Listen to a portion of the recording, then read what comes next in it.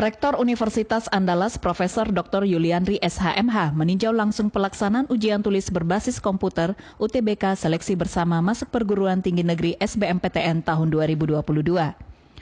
Profesor Yulianri mengatakan pelaksanaan UTBK gelombang 1 telah dimulai secara serentak di seluruh perguruan tinggi negeri di Indonesia. Menurutnya UTBK ini telah dipersiapkan dengan matang meskipun masa pandemi COVID-19 belum berakhir. Mengantisipasi penularan COVID-19 pada UTBK ini, protokol kesehatan di kawasan Universitas Andalas diterapkan dengan ketat, seperti melakukan pengecekan suhu tubuh dan penerapan 3M. Untuk Universitas Andalas sendiri, pelaksanaan UTBK ini akan selesai di gelombang pertama, yakni tanggal 17 hingga 23 Mei tahun 2022, dikarenakan jumlah peserta hanya berjumlah 11.398 orang. Untuk Universitas Andalas sendiri, pelaksanaan UTBK ini akan selesai di gelombang pertama, yakni tanggal 17 hingga 23 Mei tahun 2022.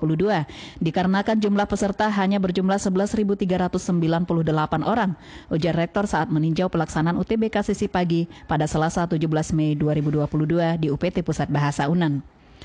Lebih lanjut dikatakannya Universitas Andalas menyediakan 24 lokasi ujian yang tersebar di kampus Limau Manis dan kampus Jati seperti Labor Komputer Fakultas Kedokteran Gigi dan Dekanat Kesehatan Masyarakat.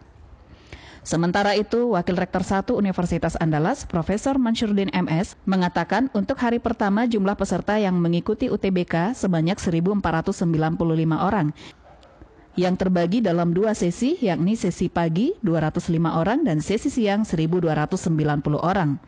Sesi pagi berlangsung di tiga lokasi, yakni di UPT Pusat Bahasa, Fakultas Teknologi Informasi, Dekanat Fakultas Kesmas Jati. Untuk jadwal siang akan berlangsung di Fakultas Ekonomi, Lembaga Pengembangan Teknologi Informasi dan Komunikasi atau LPTIK UNAN, Fakultas Kedokteran, dan Fakultas Keperawatan.